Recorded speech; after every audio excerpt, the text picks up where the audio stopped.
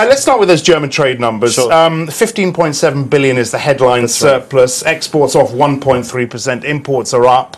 What do you make of these? Okay, basically, uh, the outcome was weaker than both we and the uh, market consensus expected.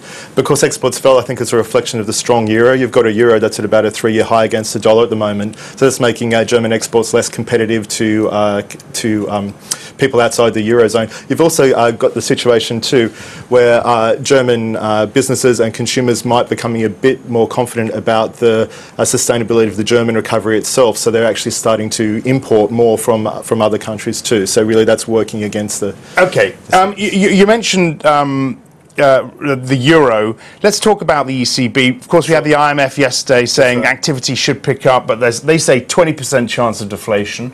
Right. Um, our Reuters poll says there's a now a one in three chance the ECB is going to start buying bonds outright. What, what, what do you make of that? Okay, our, our view is basically uh, the ECB will um, resort to finishing all their conventional policy measures. In June, they're probably going to cut to about 0.1%, and so, Okay. so they can't take interest rates any lower. The next step then will be to do quantitative easing. So that, that's really the way they're going to play it. That's going to come, is it, QE?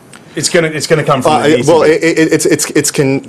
I, I I think they won't go to QE before the, before they cut. So I think that they're playing a long game. But um, the first step will be cutting cutting rates in um, in June, and that's because they get the updated ECB staff forecast then.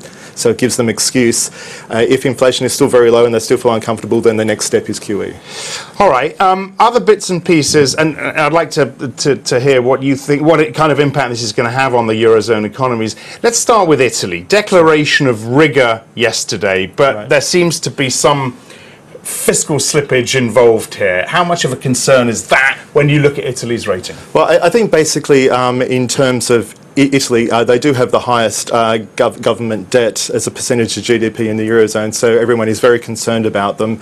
Um, everyone wants them to get their fiscal house in order. So it's important that the new government under Prime Minister Renzi uh, is is serious. The problem is he doesn't really have a track record in government, so I think there's concerns there. Uh, the 10-year yield is relatively low at the moment, but that's prim- primarily because there's increased speculation that the ECB is going to start QE. Exactly, So it's not really domestically Italian, domestically driven. So if the ECB disappoints, Italy's going to have a problem. Are you worried about Italy? I, I think. Uh, Generally, um, I, I would say all economists do have concerns about Italy's high government debt. It's verging on us- unsustainable.